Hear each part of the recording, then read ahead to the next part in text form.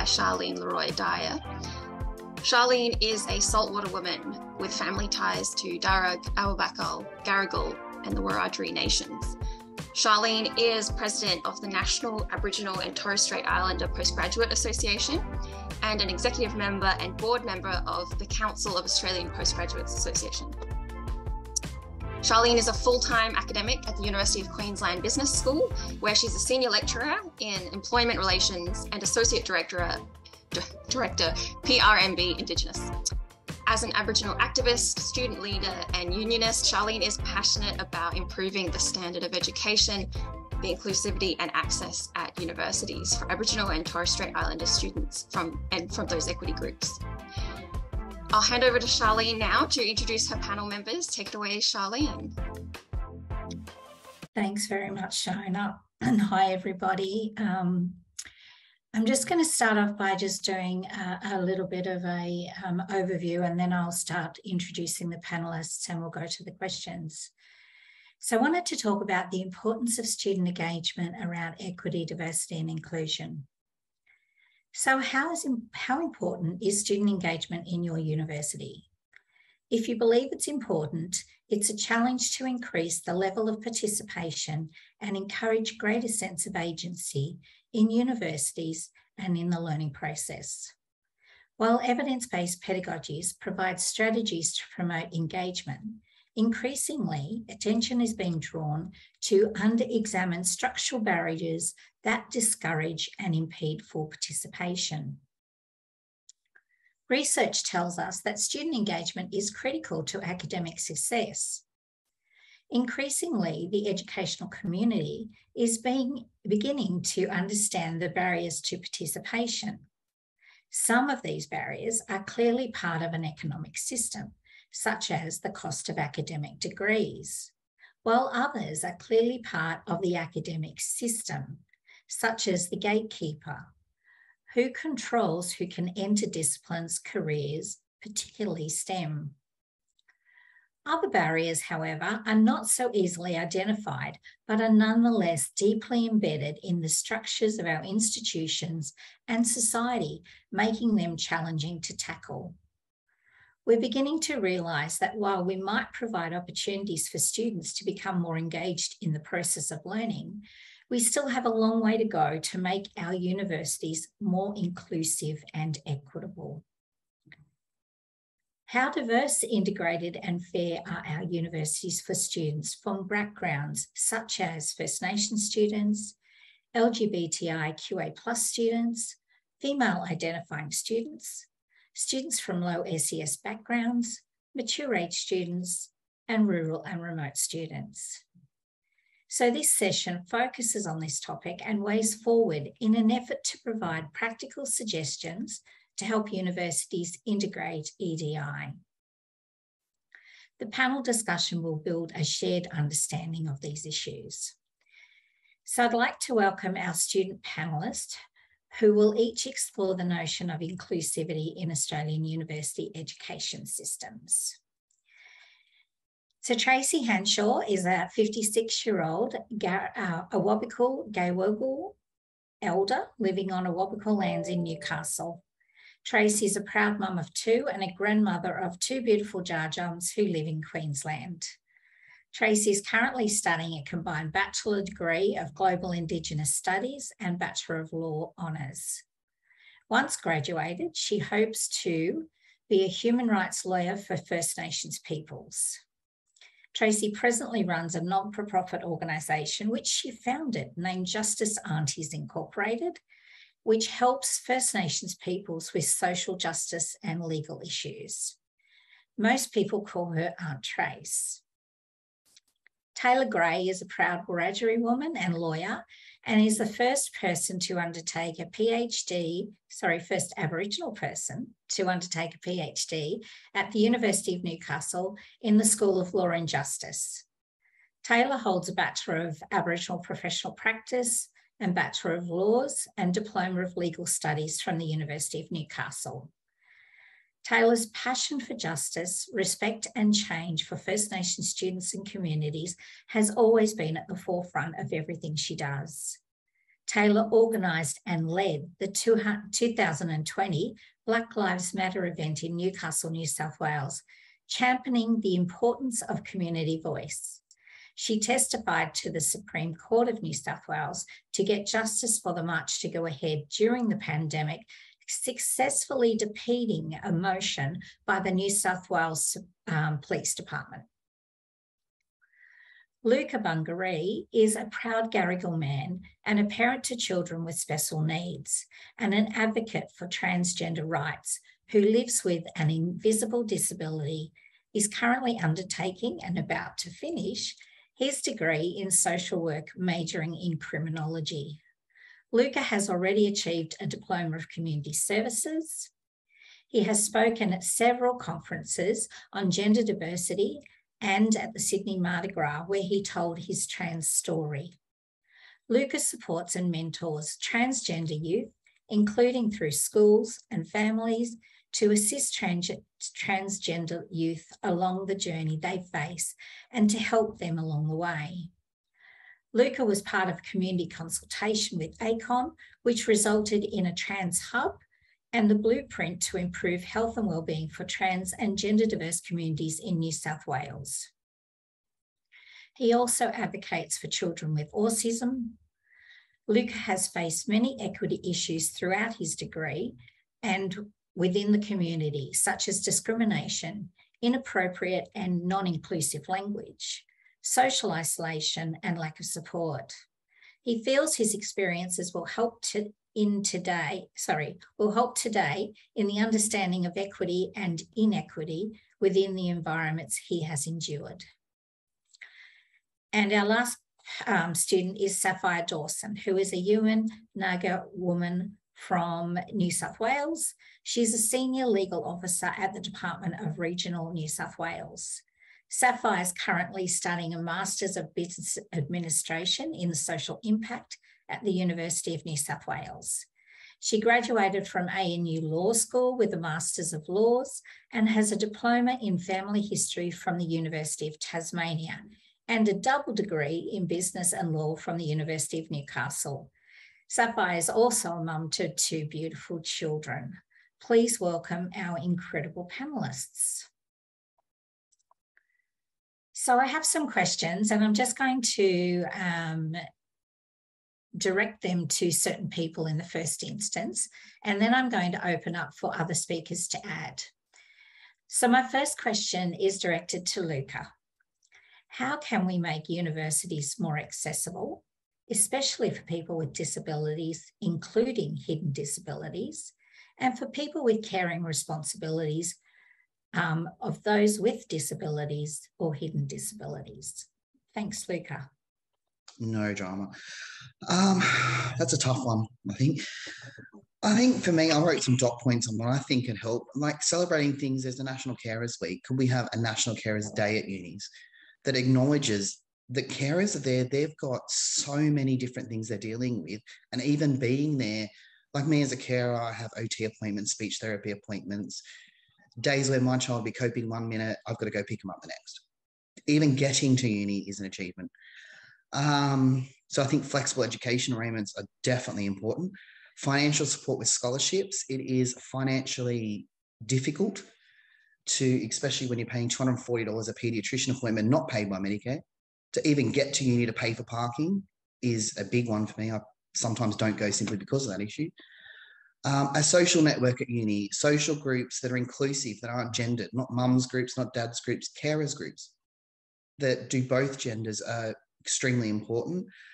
Um, the consideration to maybe allocate a support worker, a liaison officer for carers. Their needs are very different to others.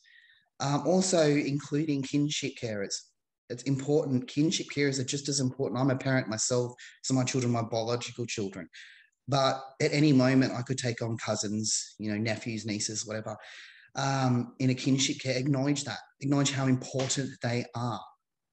Um, acknowledging that in the wider uni, not just in in policy, in groups, in everything, just acknowledge them. And to formally recognize carers in policy, I think, is the most important thing. Make us feel like we are just as important as everyone else. Like, it, I understand everyone else has issues, but for me as a carer, it, it I need flexibility is a big thing, um, which is hard to achieve. RAPs are extremely important. I've had a RAP myself; it's helped me a lot. But I think more formal acknowledgement in social networks, in policy, is extremely important. And what about on a personal level, um, as you as a person with a hidden disability? That complicates it even more, I think, for me, because I've got these issues around my children, but um, me myself, um, I have complex PTSD, so I can be sitting in a classroom completely fine. And you could, even the smell of a deodorant someone else is wearing, I have to leave the room. It's not, I can't help that. Um, so I think even there's another another big issue. Flexible attendance is great. Uh, being able to leave that room, not making a big deal of it too, but also check-ins. Another thing I'm finding lacking for me as a person with a disability and as a carer, no check-ins. Um, no one checks in with me.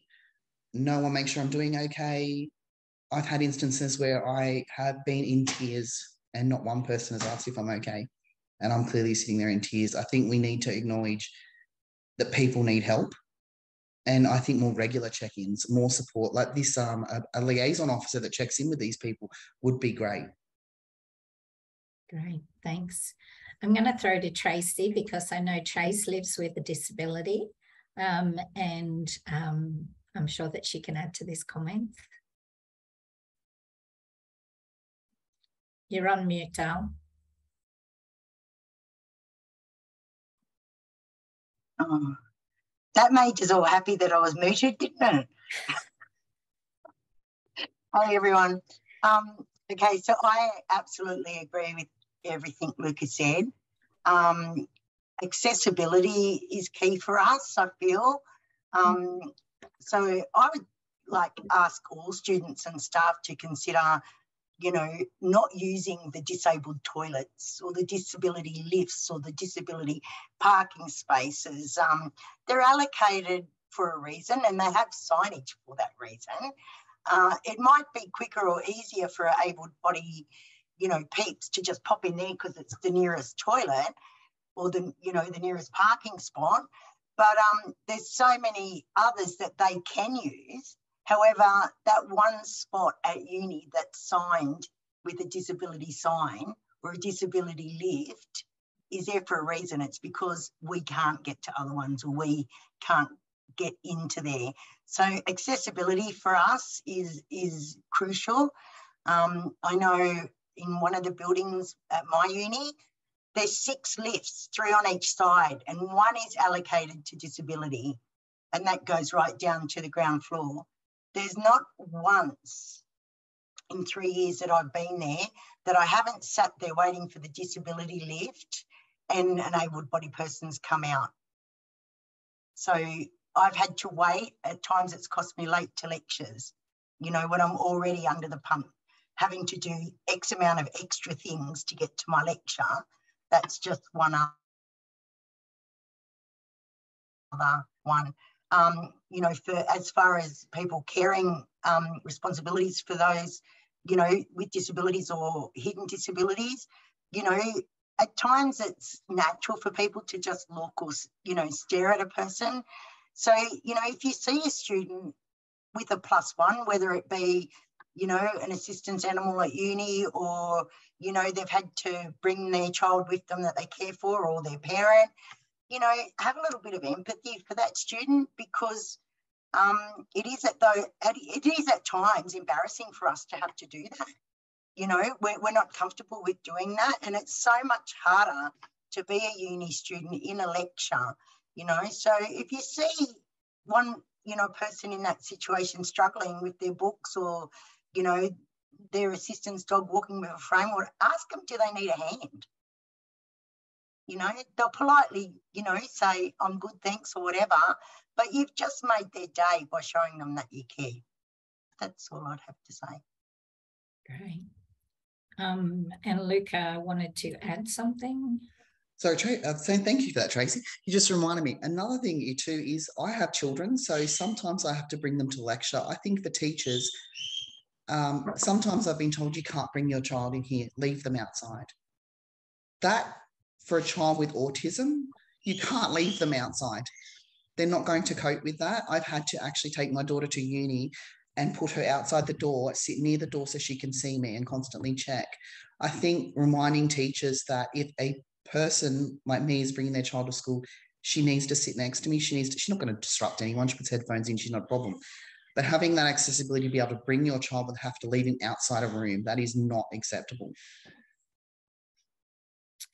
No, that's a really good point, and I think that um, university policies need to actually reflect that we do have, you know, caring responsibilities. The caring responsibilities vary, um, and we really need to have that accessibility and to be able to have our children with us if that's needed. And myself being a, um, a mum of a, a, son with ADHD, ODD, and Asperger's, um, it was it was very difficult as an undergraduate to try and you know not have them there with me at all times and um, but also you know some lecturers didn't really understand Fortunately, some did though. So, yeah. Um, Taylah and Sapphire, do you have anything that you would like to say on this point?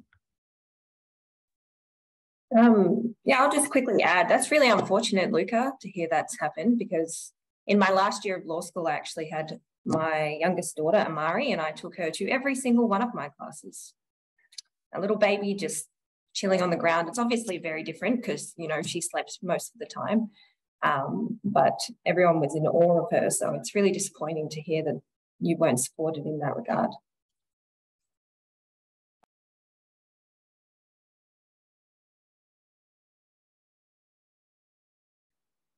Great. Um, so we might go on to the second question, and I'm directing that at Sapphire. Um, when you think about access and inclusivity in universities, what does this mean for you?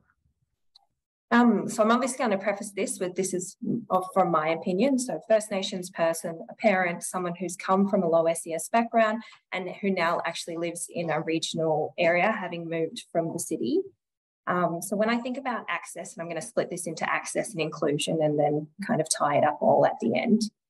Um, when I think about access, going back to what Luke has just said, you know, having access when you've got children is really major important thing but also it's the pre-access before you actually become a student. So I think that universities need to really come up with some good engagement strategies, particularly with regional and remote communities, particularly with First Nations children, but anyone from a diverse background, to explain the university options. So what options do kids from regional and remote areas have near them? Do they have to move? Do they have flexibility? Um, enabling programs. So for example, if you don't get an ATAR or you didn't get an ATAR that's high enough, I'm one of those people. My ATAR was only 62.8. I couldn't get into anything. I'm really fortunate to actually have met Sharlene, um, who introduced me to the YAPUG program at University of Newcastle, which was the enabling program that I used to get into my law degree. So do people actually know that those things exist at different universities? So what courses are actually available? So what can they study? So for example, here in Dubbo, and I always forget what the university is, Charles Sturt maybe only does three. I think it's teaching, nursing, and something else that's health related. And they also um, have a joint program with, I think, UNSW to do the second last two years of your medicine degree. So there's not much available here. And your only options are to go to maybe Brisbane, somewhere else in Queensland, Griffith, Newcastle, or Sydney. So, what options are available and where? And what are the flexibility? So, go again, going back to Luka's um, comment about flexibility. So, is it wholly online? Can I do some of it online? Is there residential schools? Like, what are my actual options as a student if I were to come to any particular university and study a particular degree? And then again, reiterating what Luka has said, what are the support networks? So what actually is available? Is there mentoring? Is there Indigenous units? Are there leadership programs? Are there peer support networks that I can jump into? Is there early entry, for example? And then once you're actually in, so once you're in the door and you're a student and you're enrolled, what are the other support services that you can actually um, get? So housing, finance, scholarships, mental health support being a really major um, issue at the moment. And then going and thinking about inclusion, you cannot be what you cannot see. Um, I have a friend, her name is Carla Waters. That's one of her major things that she pushes, and she's an academic at ANU at the moment. And that's always resonated with me being the first in my family to actually finish university because I didn't see anybody else like me doing a law degree. Like it's good that Taylah, for example, is doing a PhD because you can see her doing it. So you're like, oh, I, that can resonate with me. I could do a PhD too. So it's getting in and making sure that you're inclusive with all of those support networks for everybody, but also making sure that you're showing people that, that this is something that they can aspire to. So I think universities really need to come to the table and actually show me or show anyone that they're aiming to get into university that they actually belong and they have a right to be in the academy. So that we have a right to be here as diverse, mature age, Indigenous, First Nations, as any kind of student, that we have a right and we belong. So that, but they need to show us how we actually belong. And I think that universities on the coast do this really well. University of Newcastle, UNSW, you can see people on billboards or on the bus as the bus drives by, but you don't see that same um, advertising on buses and success stories in, say, Dubbo, for example. So if I was a kid who had just grown up in Dubbo, I would assume that my only options are teaching, nursing, or uh, physiotherapy. Because I'm like, well, there's only Charles Sturt University here. And so I think that's somewhere that we, we really need to pick up our game as universities because that's a real problem. And that I'm only seeing that now having moved to Dubbo from the city where I saw it all the time. So I can't, if I was a student and just thinking about my kids, they're not really seeing what their options are. They're just fortunate enough that they've had a parent who's actually gone through universities and can be like, oh, this is what this university offers, this university offers this, this one has these types of support mechanisms. And I think encasing all of that, um, it's really all mostly about recruitment and retention. So we can get everybody in the door, but then it's actually retaining them. So making sure they are supported and that they feel like they belong. And so they don't feel like they have to go home. And that can be done with flexibility options. So having wholly online classes for certain subjects or, you know, flexibility of being allowed to bring your child to, to the university lectures or in your tutes or whatever it is. And to back all that up is also digital literacy. So you can't have this online flexibility options if people aren't aware of digital literacy and understanding how that actually fits into the entire thing. And again, that just goes back to access and inclusion, making sure that everyone feels welcome, make sure making sure that everyone feels like they belong and making sure they, they know they have a right to be here. Yeah, some really great points there. And I just wanted to um, point out while I thought about it that all of our student panelists have come through the Yapug program. So I have a, a bit of an affiliation with all. Um, I'm going to throw to Taylah because I know growing up in Dubbo, um, you would have experienced some lot of issues that Sapphire was just talking about. Yeah, definitely. I know, like, because I grew up in Dubbo, went all the way to year 12 and um, same as Sapphire. I mean, I, I had a low ATAR. I mean, my ATAR was so low, I didn't even get a score. Um, and I, nevertheless, I still applied for university and I got knocked back every time, but um, thank God for UON and, you know, meeting you, Auntie Sharlene, like, in the Yapug, your pug pathways program, like that was the really, that's what really got me into law school after all. But, you know, and we didn't have access to Wi Fi at home.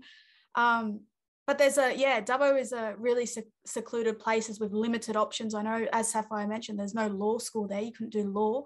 You have to move off country to, you know, undertake the degree that you wanted. Um, but yeah, really secluded back home.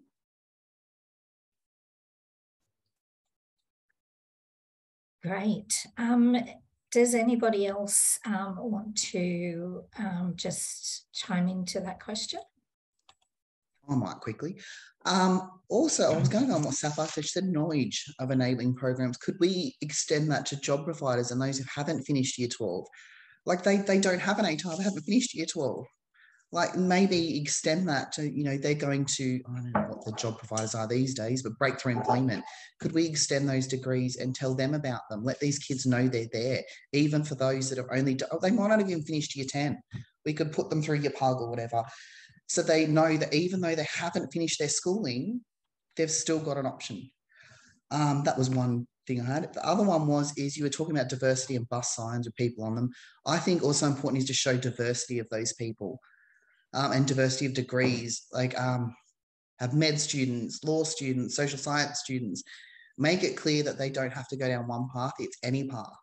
Mm. Yeah.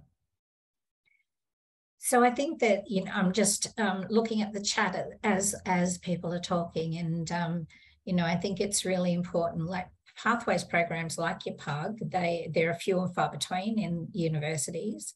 How do we actually, you know, get that information out there that they they're available? I know um, I accidentally um, interviewed Sapphire with my PhD, so she got to know. Um, Taylah came through our alternate entry program, and then we got her into Yapug. Um, I'm related to Luka, so you know, got him into Yapug. Um, so you know, it that was a lot of word of mouth, though. So how do we actually, you know, get the word out and you know, feedback, job agencies or anything to say, you know, these programs are available for people who don't have ATARs, especially for Aboriginal and Torres Strait Islander peoples who, you know, traditionally, you know, we just get told that we're too dumb and don't worry about university. Um, so yeah, what what do we need to do? What do universities need to do? I think they need to advertise because, you know, um, like like Taylah, Luka, and Sapphire, like I, I never finished year 12. I finished at 15 in 1980 and hadn't been back to school since. So it had been nearly 40 years in between me going to school. So, and, and I owe Sharlene as well being able to get into the PUG program. Um, if it hadn't been for Sharlene um, getting me in there and literally keeping me in there, um, I don't, you know, I probably wouldn't be in law school now. I know Sharlene was, you know, um, was instrumental in bridging the gap between an enabling program like Yapug and um, having early entry from Yapug going straight into law school. Um, and I'm here to the first one she she did that, you know, for the early entry directly going in. So you know, I don't know where I've gone. Oh, there I am. Um, yeah, so it's, you know, they, they're really, really significant. And had I have not been at NAIDOC week one year and the Wollotuka um, uh, tent being at NAIDOC and, and me asking, you know, is, is that a safe place for me to learn where there's less racism?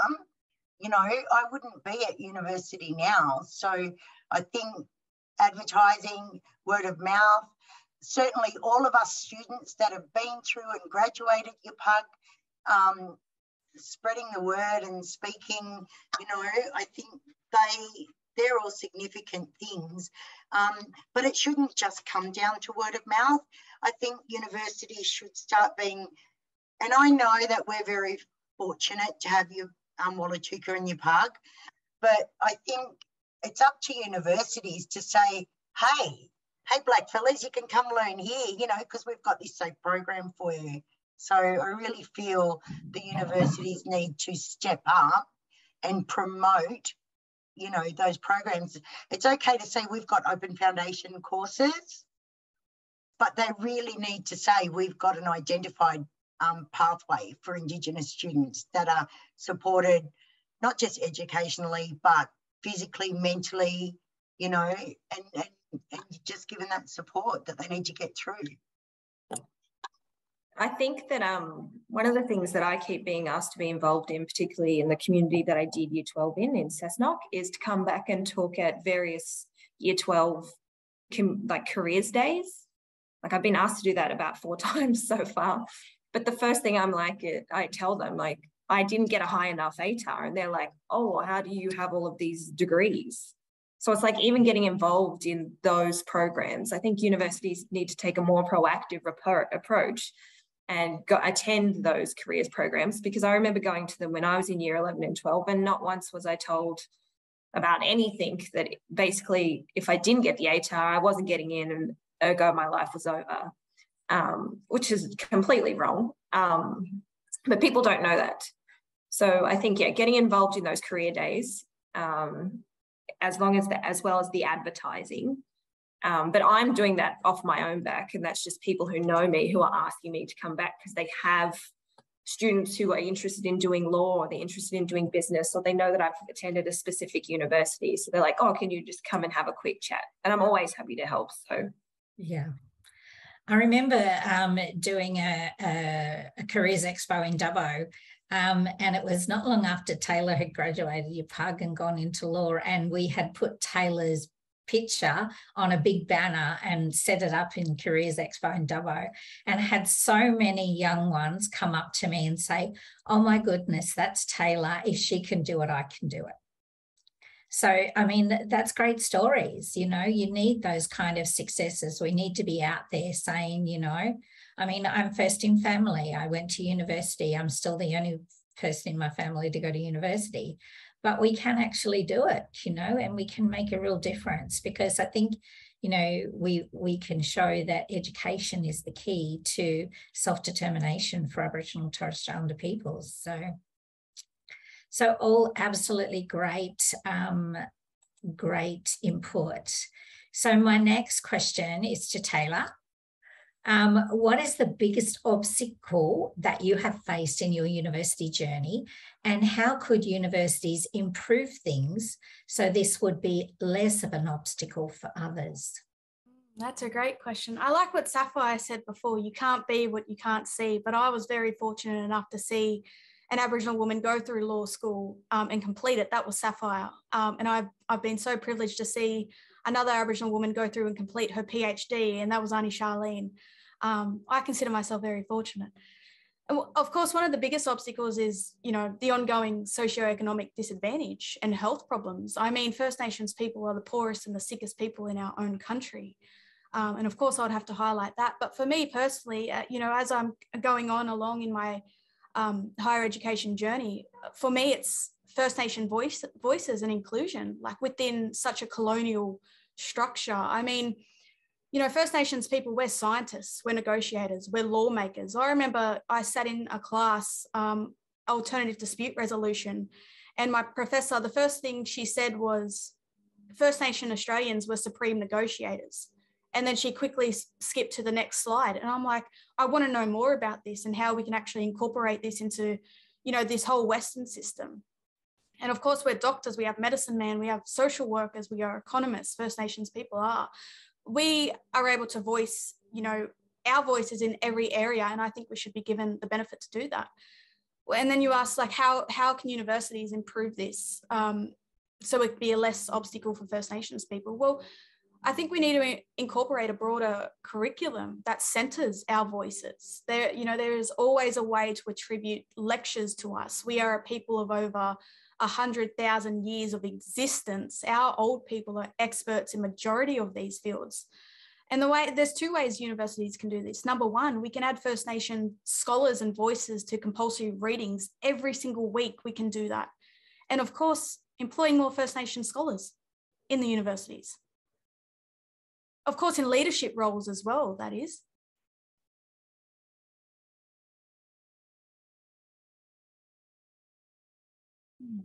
I think that you've um, really hit on a point there, you know, um, ensuring that we have lots more First Nations voices in universities, um, especially, you know, in our leadership roles, but also, you know, teaching our um, teaching our courses in every single faculty, in every single school, without every single in in every single university. And I think that, you know, too often um, there's people like us who, you know, go on, we get PhDs, but then we're kind of siloed and don't get the ability to.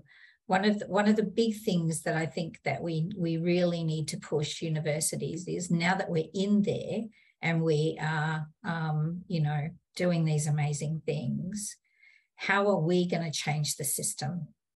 You know, we we we work within these colonial structures that are so rigid. And um, you know, I I met I um, Tracey mentioned before, you know, racism within the universities is is really really difficult to cope. We have we have racism, we have lateral violence. So how do we actually change those systems? Because it's up to us.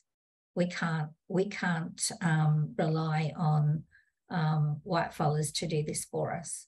How do we change those systems to ensure that you know our future generations have a better go of it than what we did and have an easier path to universities than we did?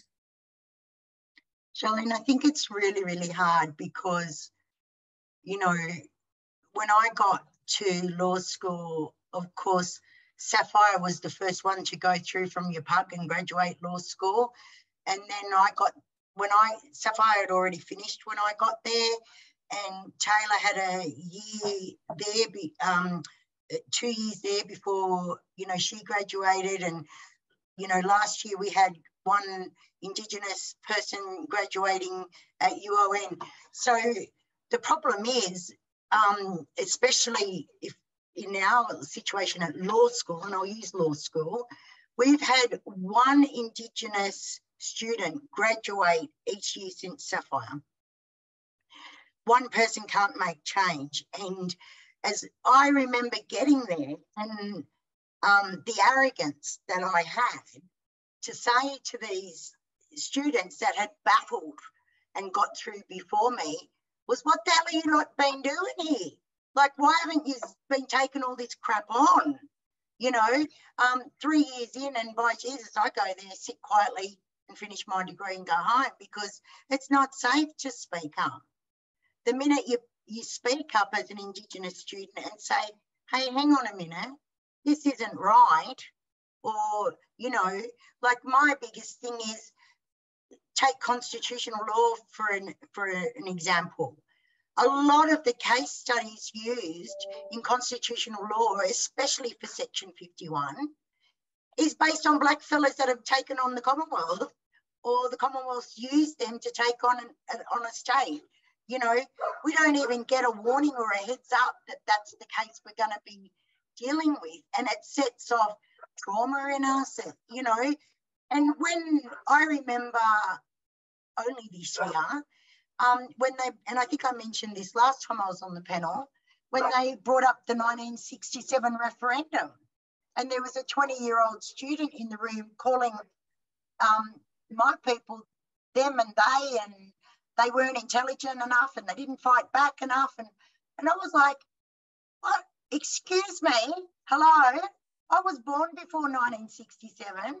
Don't you dare sit there and call me them and they. So I feel that um, it's up to the lecturer. Be aware that there's Indigenous students in the room. If you're teaching content that's going to possibly cause them harm or trauma, have a warning. Give them a heads up. You know, same as if you've got a student in there that's got a disability, they've already emailed you their RAP at the start of the semester don't make them feel like they have to beg and plead to get an extension on an assignment. They're automatically granted that because they have a RAP. It's about being more inclusive. It's about being empathetic.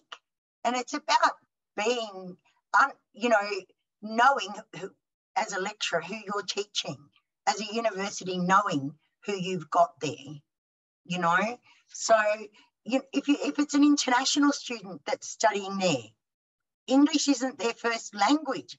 Ask them if they understand what the lecturer was about. Ask them, you know, can you assist them to, to get them some extra tutoring or where the nearest English speaking class is or whatever, you know, like it's about being considerate. Yeah, great. Um, all great answers, and I'm sure that the um, audience is is um, really interested in everything that everyone's been saying because it's just so relevant. Um, my next question is directed to you, Tracey. Um, can how can we make universities more inclusive for First Nations students, for students with disabilities, for women, and for mature age students? I think well, I'm just about all of them, um, except LGBTIQA plus, and um, you know I'm a single mum as well. I'm black. um, I'm coming up to sixty. You know I'm just about all of those things, and for me, I find it. You know, I care for my mum on my own who's got dementia at home, and I've still got one child at home. So my home life does impact my study time. Um, if I am fortunate enough to get into uni nowadays to a lecture, um, I feel that allocating a disability chair or table right near the door when you're entering a lecture um, would be good for starters. because I can tell you, I can't tell you the amount of times that I've arrived at a lecture and had to sit on my scooter uncomfortable and in pain for two hours because there was either no seats left or I couldn't get up the back of the room to a seat because my scooter would disturb the entire lecture. You know, so have have a, a designated disability um, spot at the front door where a dis- disabled student can sit. Um, you know, most people with a disability usually hang back and let others go in front of them because they don't want to hold them up and and you know other people get frustrated because they take so long and things like that. So that that would be one.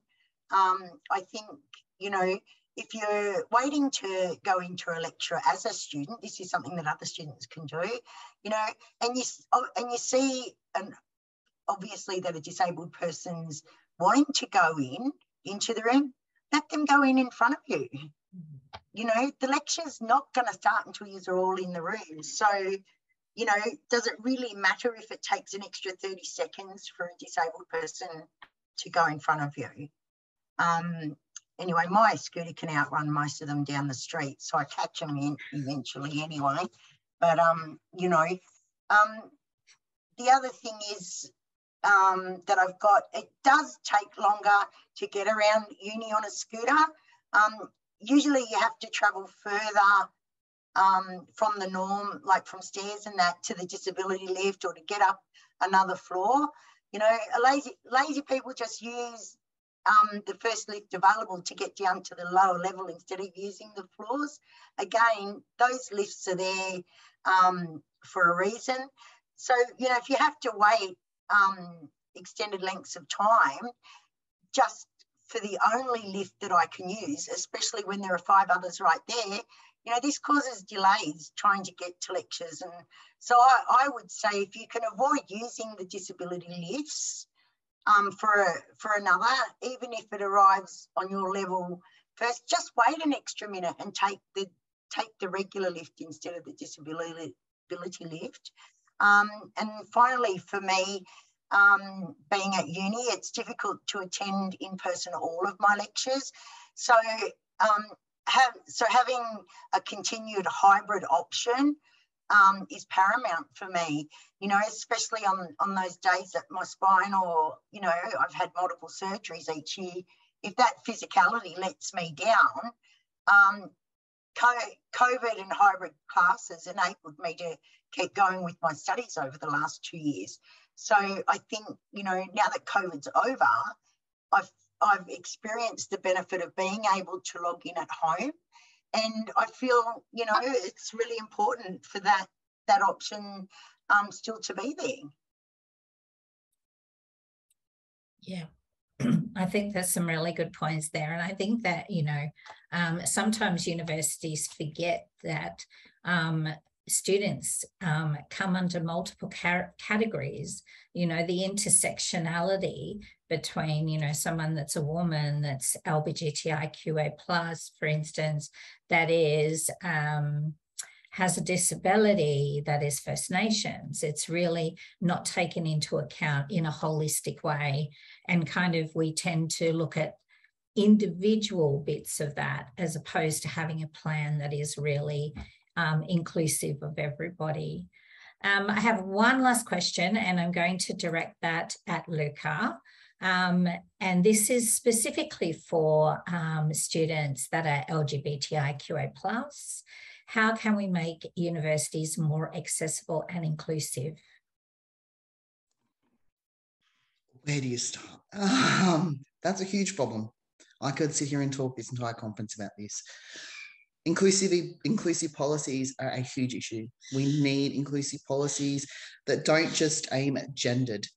So we like both for transgender women, men, and non-binary people. The policies need to change. Your toilets. We and, and Tracey said like some of us are able-bodied, but we can't, or don't want to, can't, whatever want to use those male and female toilets. So then we're stuck using disabled toilets, and people like Tracey are held back. That's not fair to Tracey. It's also not fair to us because we don't feel safe in those toilets. So we need more unisex toilets. Um, respecting pronouns, big thing. If someone tells you their pronouns, use them. Um, trans inclusive curriculums, um, not gendering your case studies um, unless it's obviously relevant. There's some cases where it will grow, and that's fine. Or if you're going to do case studies, have, you know, Bob and Bill had a child, Sarah and Mary had a child, if you want to gender them. I'd, and then don't gender them, mix it up. Bully programs specific to diverse people. We've got, we don't have them. It's, it's that simple. They're just covered by the discrimination policy, not good enough. Inclusivity training, um, I did a forum actually at UN a few years ago. Sharlene was there, where we spoke to staff, students, anyone who wanted to attend, on how to get around all these things I'm talking about. I think that needs to be run yearly, and it needs to be run by the people it affects. So your gender diverse people, non-binary people, trans people, let them speak for themselves. We know what we want. We know what we need. Let us speak. Um, I don't think anything to do with trans policies, non-binary policies. I think that's up to trans and non-binary people to speak. It's not up to cis people to speak. You, no offense, you don't get it. Um, celebrating diversity, more visibility. Um, I'm not going to name anyone. I was going to then. There is certain places I've been where they don't even have a visibility day in their building. It's not outside the building. Not good enough. Do it in your buildings. Do it so that everyone feels they have a space. It's not, you know, you've got NAIDOC, we do that. Trans J Visibility, have cupcakes in your offices, have, I don't know, I don't know what you want to do, artwork.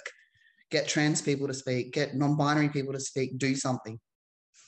Social groups, big thing. Don't think that using, and I will use this word, but I will say right now, I hate it and will never use it again. Queer collectives, really? I'm not queer, don't like the word, not reclaiming it, not happening try and think about the names you're using for your social groups. We have a clear collective. I refuse to join. I'm not queer. Don't like the word. Not going to happen. You have straight away isolated me from that group. So you need to rethink of your naming of social groups. And if you're told it's offensive, don't say, well, it's not to me. That's great. Personal choice. Um, share your resources. Get them out there. There's Trans Hub 2010. Get your resources, share them around, make sure it's happening. Everyone's aware. Um, no sexuality and gender are two completely different things. You will be surprised how many times this has come up, and I have to explain it again and again. Um, I think I've normalizing pronouns, um, have posters, artwork, info, put on your office you're a trans ally or LGBT ally. Let people know where they can go. Create a safe space. Um, don't treat us with kid gloves either. I don't need to be treated different. I'm not different. Um, I am a normal everyday person. I don't want to be treated like I have some kind of issue and need to be treated different. Um, also, if you're running a lecture, and this has come up a few times, and you say something wrong, and a student who has the knowledge tells you you are wrong, acknowledge you are wrong. Do not tell them they are. They are the voice, they know that was wrong. Swallow it, um, I've also had in lectures where students have used that trans people choose to be that way. If we choose to be that way, that's our choice. We shouldn't put it on other people. Cut that off. A lecturer and the lecturer did not cut that off. Cut that off. Don't allow students to use. You need to educate them that that is not appropriate. They may not even know that's not appropriate, even understand that we don't choose to be this way. Um, the choice we make is to live our truth. That's about it. Um, that needs to be cut off. So it's all about inclusion, resources, understanding, educating. I think personally in in unis, I think the forum we did, Sharlene was in, I'm sure test, she would have learned a lot from that. by listening to the people that have the lived experience, I think they should be run yearly and open to lecturers, staff, students, everyone. So we can help. We just want to help, help you to understand and do it correctly. Um, and that's about all I have, Dad, or I'm going to go keep going on and on. That's Luke, uh, is it okay, like, because I, and I know you can't speak for everyone, but is it okay, like, I was at your pub one day and actually asked, I called a student over and I sat down and I asked, I don't know if to call you the male name today or the female name today. Can you tell me? This is probably identifying to you guys who I'm actually talking about, but nobody else. How do I know if, like, I'm to call you A name or B name today, as in their first names?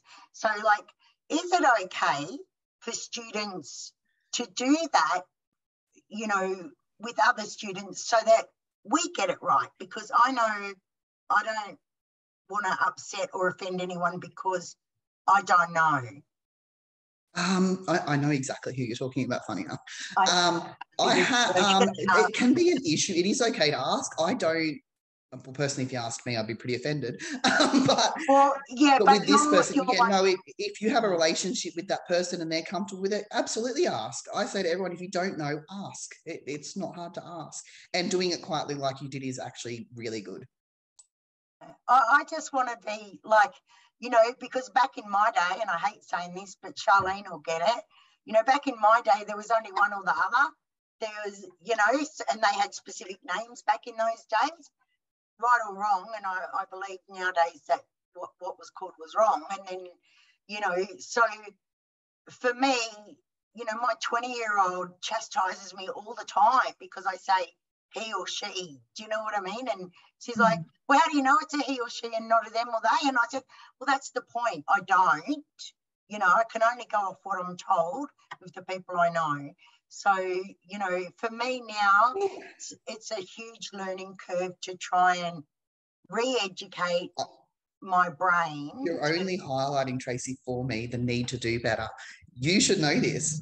Like you should have been already told this. This should be in the curriculum so you're aware, so you know. It's not.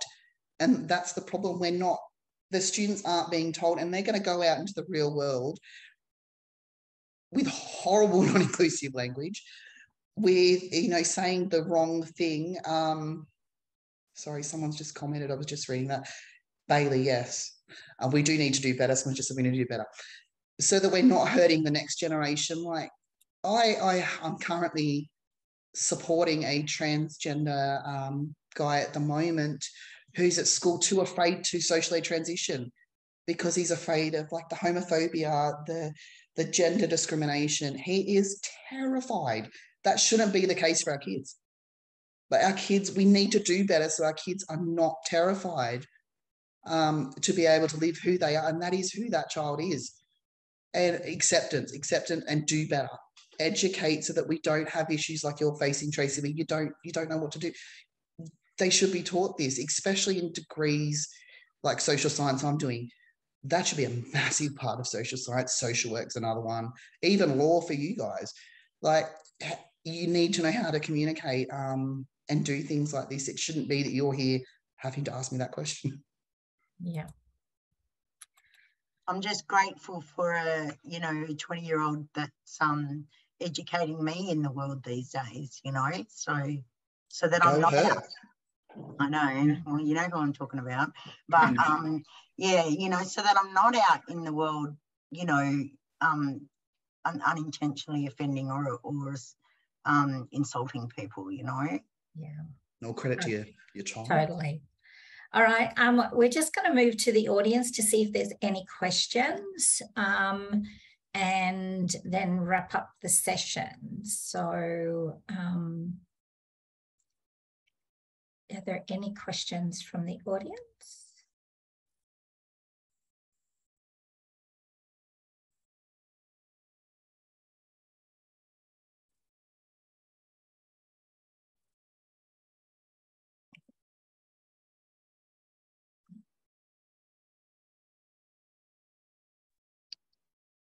Um, Sharlene, and thank you everybody for um, joining us. I've really, really loved hearing um, your perspectives. I'm wondering if I can jump into the question, um, if there needs to be a little bit of a focus on, um, sorry, what comes through your, in your stories is, is all of the effort to actually get in the classroom. And do you think perhaps there's a bit too much focus of what happens in the classroom rather than every everything that leads up to that because i'm just wondering about all of the things you've described. When you get to the classroom that's actually when you need a break not the start of even more of the same. Is that something that you that resonates for you?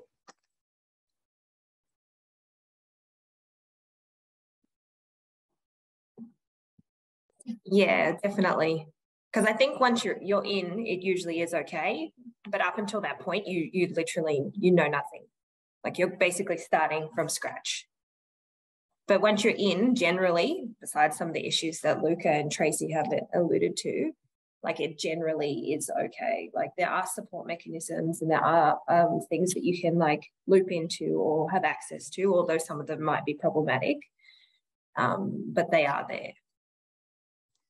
I think too, on that note, um, my kids go to high school. sorry, excuse me. Um, and they get more education on like your LGBT issues, trans issues, inclusive language than we do at uni. How is this happening?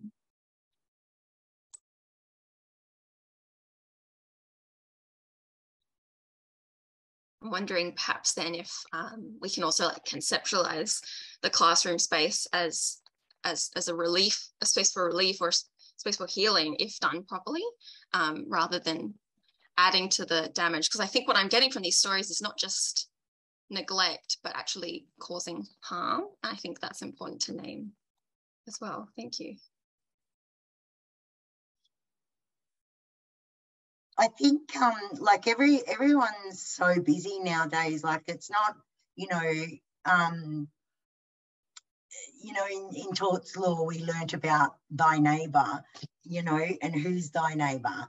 And if you put that back to the classroom, every student in the room is thy neighbour, you know. So in torts law, you know, you've got certain obligations to thy neighbour. Do we not have camaraderie amongst students anymore? You know, supportiveness of another student. You know, um, when I made the um, comment about, you know, um, the girls, you know, much younger than me that had graduated, you know, law school, and there's still those um, typical um, issues for First Nations people coming through. You can't you can't fight it. You can't make change one at a time. You know, there's Indigenous students groups, there's this group, there's that group. But at the end of the day, I think what Sapphire said about and Taylah, if you can't see, you can't be. You know, I can't tell you the number of times over the last three years in law school that we've had non Indigenous lecturers, staff members, and other people at the uni um, doing something like this on Black Lives Matter. Uh, hello, you've got Taylah Gray there that the New South Wales Police took to court to stop a rally against Black Lives Matter. You've got me who's for a decade now have been supportive of um, black deaths in custody at royal commissions and get asked to, you know, offer advice.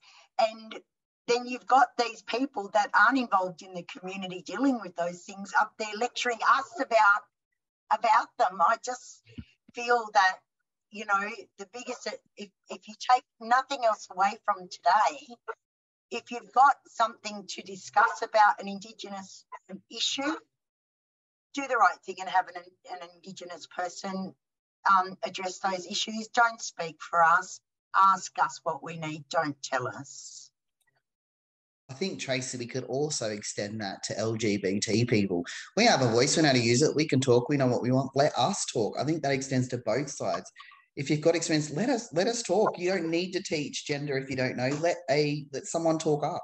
Let us have a voice. And I think someone actually asked a question how um, how to how do we get that voice? Well, we that's up to the education. That's up to the unis. Let us speak. like ask us. Some might not want to do it, some might let us, ask us, let us be involved. Um, if I can just jump in with a question from Aiden in the chat for Taylah, um, which sort of relates to what Tracey was just talking about and, and Luka's saying about the voice there. Um, why is activism important to you and how does it relate to your university experience? Oh, thank you for the question. Um, it's important in almost every field. I mean, activism influences political outcomes. I remember my professor, um, Dr. John Woodward, he turned around and he's an elderly man, um, very experienced lawyer. One of the things he said in one of my lectures one day is, "Where are the students?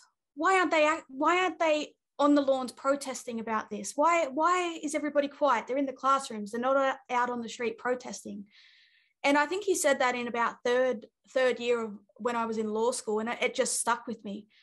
Um, and I and I thought to myself, you know, we are quiet. We we are somewhat a quiet generation. I mean, I look at you know First Nations people that have come before me, and they're out on the streets, you know, protesting. Their voices are heard. They're on Parliament lawns. They are, you know, radical and.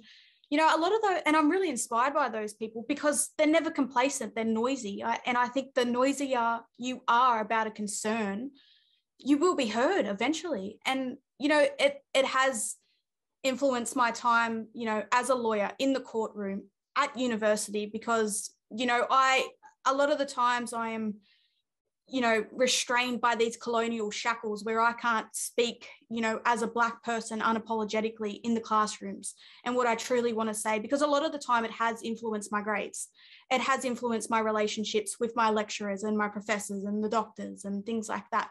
But I, I think once you know once you know who you are and once you have a vision of what you want to achieve for your people and your community and for and by all means justice you can't ever let go of that. And it doesn't it doesn't it doesn't matter about your grades anymore because the picture is so much bigger than your grades. Um, but having a vision never compromising your values your principles and you know listen to your community as well i think. Listening to your community and having your you know if you're doing the right thing by your community they will have your back um, at university too. But I, I think that's a that's a great question. I really like that. Thank you i think um Tra- sorry, Tracey, we're going to have to wrap the session up. So I'm sorry to cut you off. Um, but I just wanted to end by saying, you know, I think it's really, really important for all students to be active within the universities, whether that be part of their student groups, student unions, or whatever, um, within a university and nationally, because this is the way we actually make a difference, is having that voice. Um, so I just want to say what a wonderful discussion we've had, a really amazing session, and I think we've gained some really valuable insights. Can you please thank our student panelists for their expert analysis and how we can make universities more inclusive for our First Nations peoples, peoples with disabilities, for people identifying as LBGTIQA+, for women, and for mature age students. Thank you to our panel. Thank you so much. It's been so fantastic to hear from you. And thank you for being so vulnerable and genuine and authentic with us. Um, I'll hand over to Jeff now to wrap us up for the break.